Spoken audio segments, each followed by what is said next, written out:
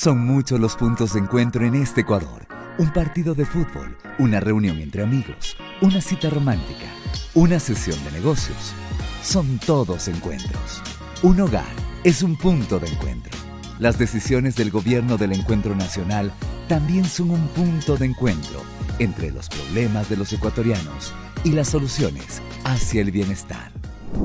Tomamos acciones por la seguridad el presidente Guillermo Lazo entregó a la Asamblea el proyecto para incorporar a las Fuerzas Armadas a la lucha contra la narcodelincuencia y el crimen organizado. A esta lucha también se incorporaron un grupo de jueces y juezas especializados en delitos de corrupción. El primer mandatario además se reunió con el secretario de Seguridad de Estados Unidos para coordinar acciones contra el narcotráfico, trata de personas, entre otros crímenes mientras que la Policía Nacional continúa con sus operativos en todo el territorio ecuatoriano para hacer frente a los delincuentes y sus organizaciones armadas. Es momento de definiciones. Necesitamos la reforma parcial de la Constitución que permita la incorporación de las Fuerzas Armadas en apoyo a la Policía Nacional para luchar contra las mafias, el crimen organizado, el narcotráfico y la delincuencia común.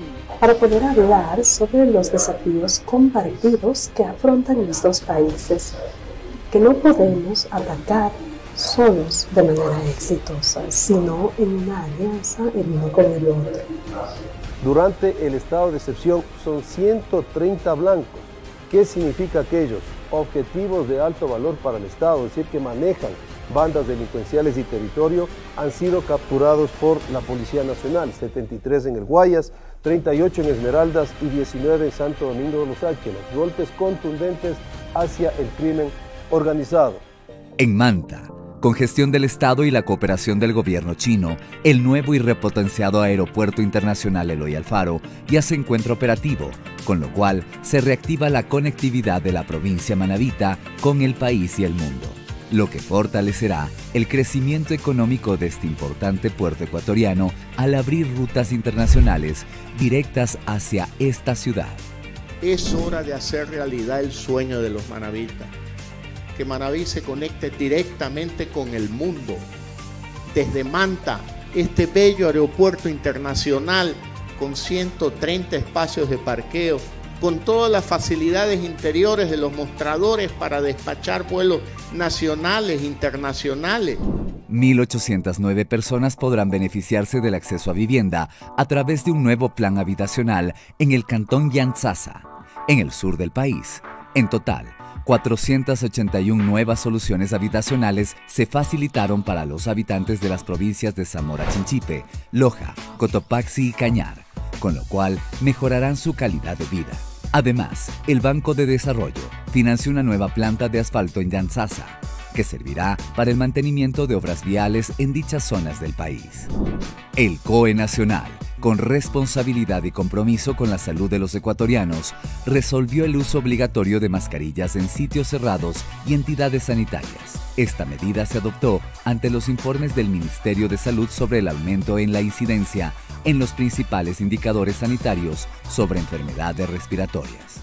El Banco de Desarrollo hizo la entrega de financiamiento al Cantón Eloy Alfaro, en la provincia de Esmeraldas, que permitirá mejorar la calidad de vida de sus habitantes. Además, se recorrió los avances de una de las más importantes vías para la zona, la Borbón Esmeraldas, que beneficia a localidades como San Lorenzo, Río Verde, entre otras, lo cual ayudará a mejorar a diversos sectores productivos de la provincia.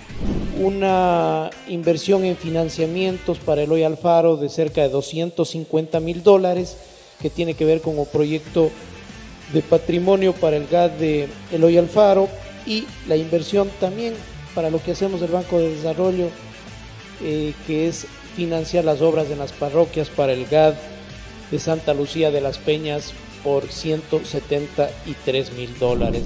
Estamos construyendo un Ecuador diferente, un Ecuador de encuentro para todos, obreros, campesinos, artesanos, emprendedores, comerciantes, pescadores, empresarios, profesionales, Un Ecuador que desde el centro del mundo demuestre al mundo que vivir diferente es posible, respetándonos los unos y los otros, viviendo en armonía, trabajando juntos por la seguridad y la paz que nos merecemos todos.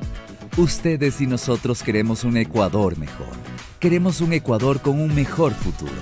Vamos juntos, vamos paso a paso. Porque juntos lo hacemos posible.